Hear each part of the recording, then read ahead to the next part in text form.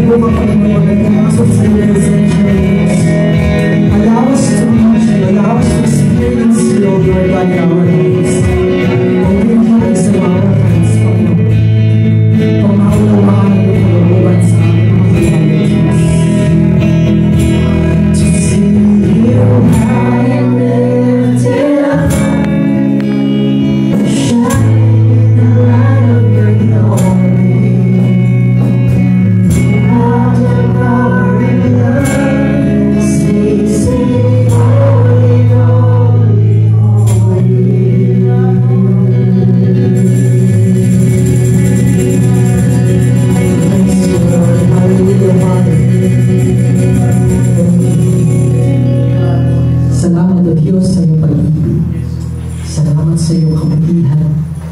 Thank you for your faithfulness, Lord. Hindi ka nagbabago, Panginoon. Sa kabila ng aming mga pagkukulang at pagkakasala sa iyo, Diyos. Nananatili kang mabuti at tapat sa aming mga buhay. Salamat, Panginoon. Salamat sa kalakasan na patuloy mong pinagkakalaw.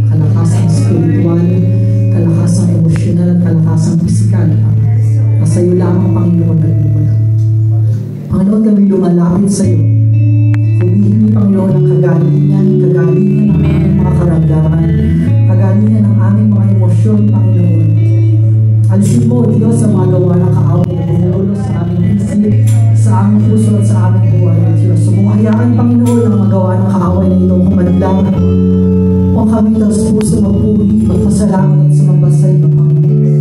Allow us to come into your presence, Lord.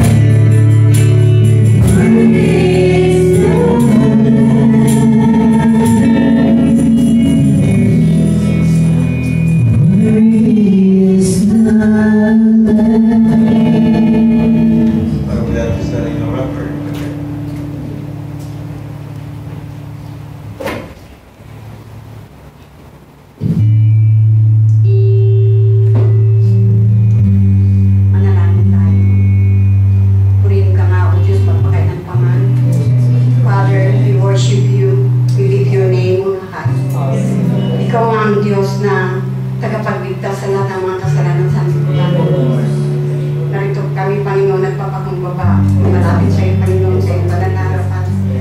Humihingi, Panginoon, ang kapatawaran sa aming mga pagkukulang, sa aming mga pagkakasala, Panginoon. So, Hindi ka dapat pagkasalahan sapagkat ikaw ang Diyos na mabuti. Ikaw ang Diyos na nagbibigay ng buhay Nagbibigay, Panginoon, ng kagalingan. Patuloy ka na may papurihan, Panginoon, Father. You are the King of Kings, Lord of Lords. Ikaw pa ang lahat, lahat Panginoon sa aming buhay. We love you, Lord. Panginoon, nagpapasalamat kami sa oras na ito na kami ay binigyan ng pagkakataon upang ikaw may masamba sa Espiritu katotohanan. Ikaw lamang na itaas, Panginoon. Ikaw lamang pa yung maghari sa araw na ito, Panginoon, simula sa, sa maghapon na ito, Panginoon. Purihin ka, O Diyos, magpakailan pa man. Tinataas namin sa iyo, Panginoon, ang lahat ng iyong lingkod, Panginoon, na puspusin mo ng iyong banal na Espiritu. Yes, O Lord. Lalong-lalo na pa ng aming pastor na maghayag ng iyong banal na salita na ito pa ng pagkain ng aming Espiritu, Panginoon. Na nawa, Panginoon, ito pa yung ay ma-absorb namin, Panginoon, at may apply sa aming buhay. You, God.